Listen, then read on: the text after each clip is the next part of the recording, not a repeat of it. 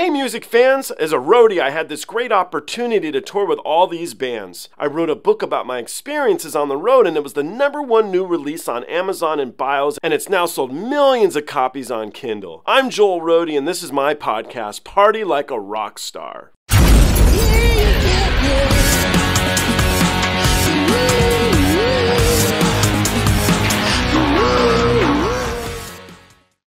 Like this, a very Swedish production. It's important.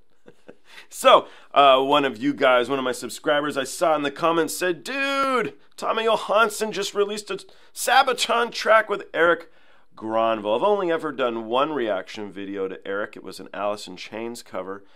I thought it was okay, but I am a Skid Row fan. I'm a good buddy with Snake Sabo, and I've had Snake on the channel a heck of a lot of times, and so uh, I hope this is awesome. I've heard Erik's a cool cat, so it should be good. I like Tommy's videos. Okay, enough already. Enough or should we just get in the track or not? I did just listen to it for the first time. I checked out the Sabaton version, which I had never heard, and then I saw it live. So good. Okay, let's do this.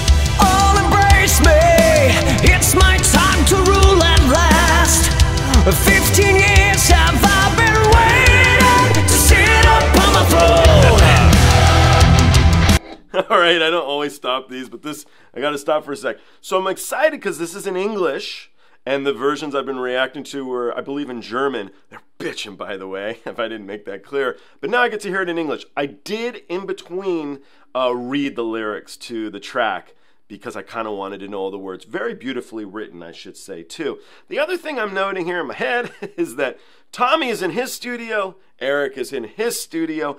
This is cool. There should be more collaborations of badass dudes like these guys where they record stuff separately in different parts of the world or whatever. Watch, they're like together. He's in the next room, but theoretically in different places and uh, and do some really cool stuff. It's like when breweries collaborate on beer. You got to try it. That's very Swedish. okay, let's keep going.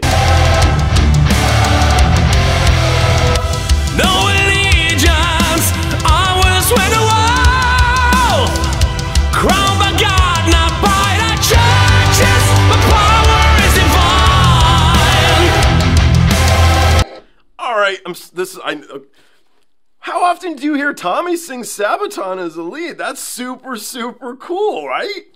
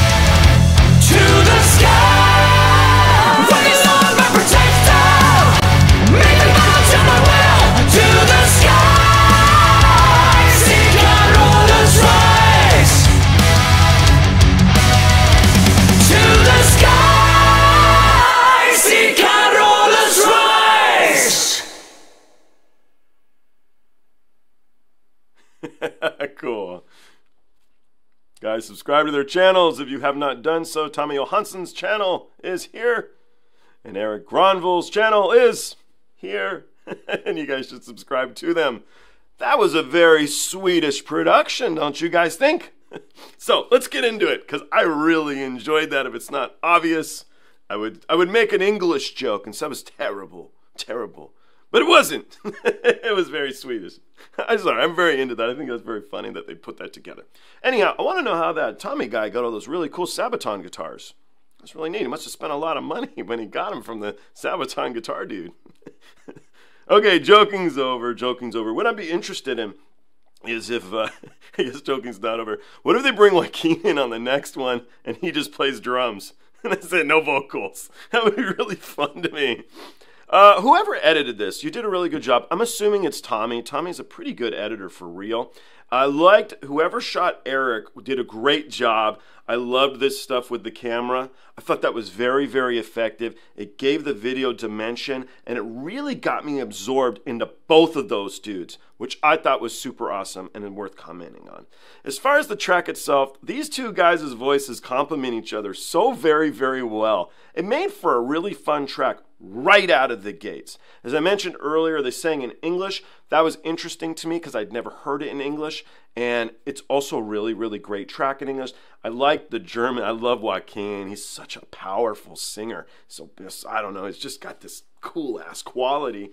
And, uh, you can like both just as much, but I liked this a lot. I really, really did. And especially having just listened to the the Sabaton versions, two of them, and you jump into this, it really gives you a lot of full perspective on the track itself. I hope these two guys keep doing tracks together. And as I said earlier, I hope collaborators, yeah, you know, get together, you know, bring Dan Vasc on with Tommy. That'd be cool. Or the one we all really, really hope. What about Floor Jansen and Tommy doing a duet, guys? That would be super, super neat. This would be a wonderful time for something like that to happen. Not that there's ever a bad time. anyway, what did you guys think of this track? Did you like it as much as I did? Uh, I really hope so because it was fun yet powerful, profound. It was cool. At the end of the day, it was Swedish, man. it was great. Guys, thank you very, very much. I appreciate it. That was awesome. I look forward to seeing you all on the next one. Hey,